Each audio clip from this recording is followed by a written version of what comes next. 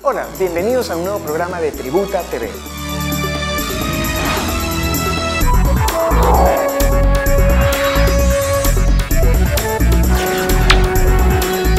Tributa TV, formando ciudadanos responsables.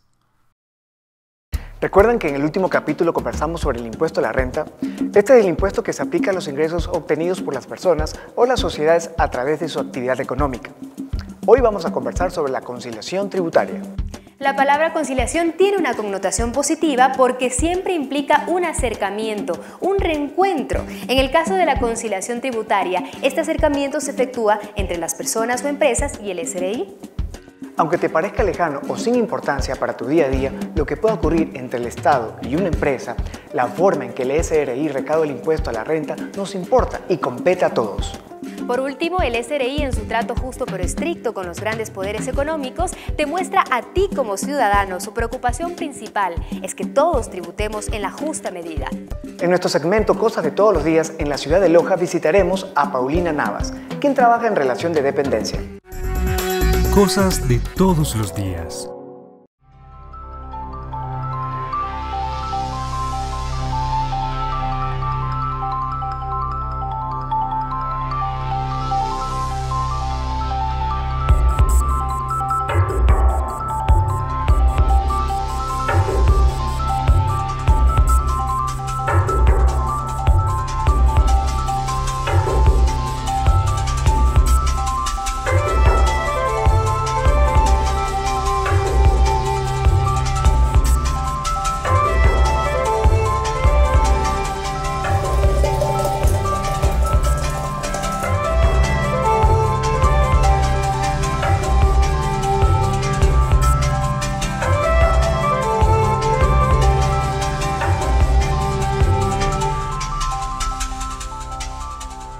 Vivo en la ciudad de Loja.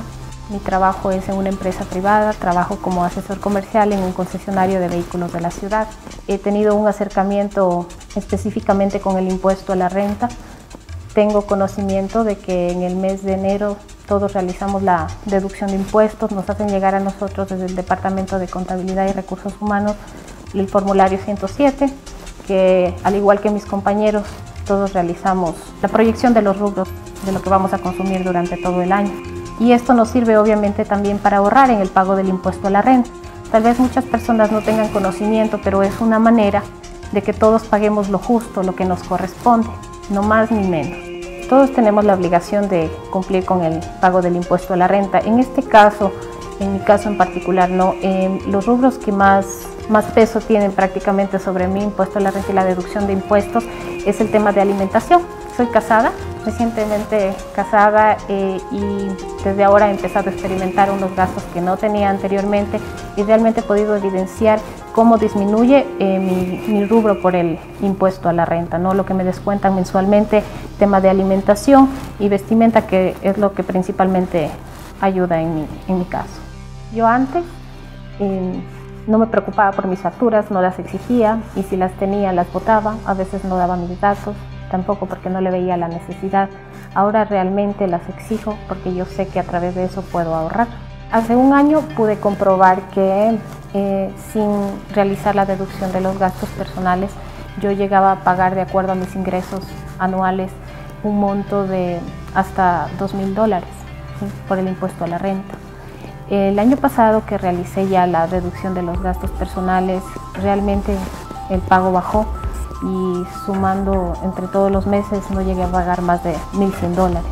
Entonces, realmente veo ahí la necesidad de que cuando yo vaya a algún lugar exija mi factura. Es una forma de ahorrar ¿sí? y de beneficiarme yo. Eh, Loja es una ciudad que se caracteriza siempre por su limpieza, por su orden, tenemos lugares turísticos. El parque eólico es un proyecto que se ha desarrollado en los últimos años en la ciudad de Loja. Nosotros lo podemos apreciar viendo hacia el occidente. Tenemos 11, 11 torres y prácticamente aquí se está produciendo la energía eólica para en muchos lugares del país. Sí, así que tenemos un, un, efecto ecológico también aquí en la ciudad que se puede apreciar a nivel internacional. ¿Dónde está mi inversión?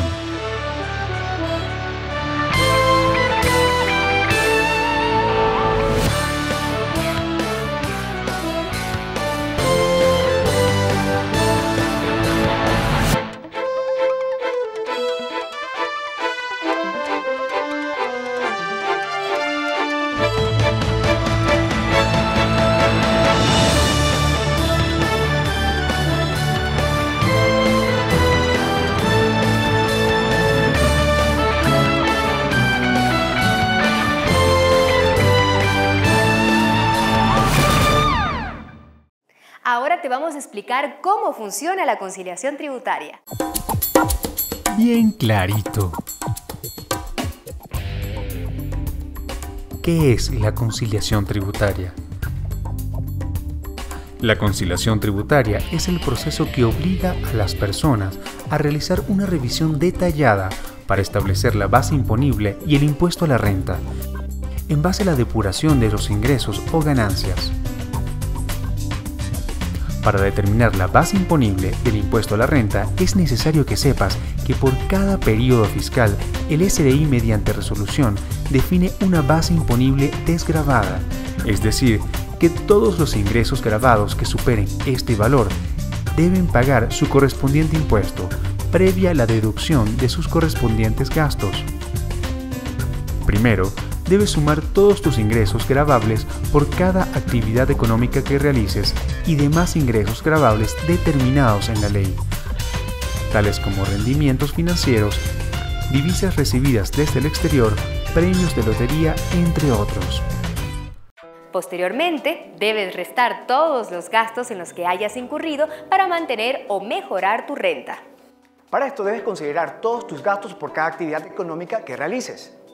Luego, se restarán los gastos personales. Se restará cualquier otra deducción establecida por la ley a la que tenga derecho el contribuyente, exclusivamente respecto de los ingresos grabados y las deducciones especiales derivadas del Código Orgánico de la Producción, Comercio e Inversiones COPSI. El resultado que se obtenga luego de las operaciones que hemos mencionado constituye la utilidad grabable o base imponible. ¿Quedaron mareados con tanta información? No se preocupen. El SRI brinda capacitaciones gratuitas para enseñarte paso a paso a calcular tu impuesto a la renta. Todos, seamos personas naturales o grandes empresas, debemos presentar nuestras declaraciones a tiempo. Con este capítulo y la revisión de conciliación tributaria y base imponible, terminamos con toda la información relacionada con el impuesto a la renta. Es importante que recuerdes los plazos para presentar la declaración del impuesto a la renta en el mes de marzo para personas naturales y en abril para las sociedades, en ambos casos de acuerdo al noveno dígito del RUC. ¿Te ha parecido interesante lo revisado hasta ahora? Que todos pagamos impuestos de acuerdo a nuestros ingresos. Los que menos tienen pagan menos, los que más tienen pagan más. Así se construye un país equitativo. Te comento que además del impuesto al valor agregado y el impuesto a la renta, existe un tercer impuesto muy importante, que es el que se aplica a los consumos especiales o ICE. El impuesto a los consumos especiales grava la producción e importación de cigarrillos, bebidas gaseosas, cerveza y demás bebidas alcohólicas. También se aplica a perfumes y aguas de tocador, videojuegos, televisión pagada y focos incandescentes, vehículos motorizados de transporte terrestre de hasta 3,5 toneladas de carga, aviones, avionetas y helicópteros, motos acuáticas, tricares, cuadrones, yates y barcos de recreo. Los contribuyentes que producen bienes o prestan servicios grabados con ICE deben presentar la declaración mensual de este impuesto y un anexo con información de las unidades vendidas de productos terminados que deben ser presentados al mes subsiguiente al periodo informado. Amigos, así terminamos con los impuestos. Para obtener más información sobre los impuestos que administra el Servicio de Rentas Internas, puedes ingresar al sitio web www.sri.gov.es.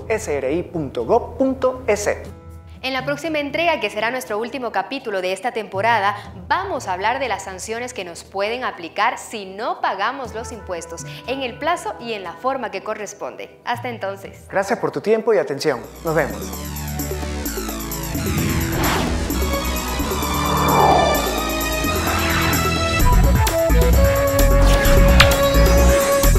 Tributa TV, formando ciudadanos responsables.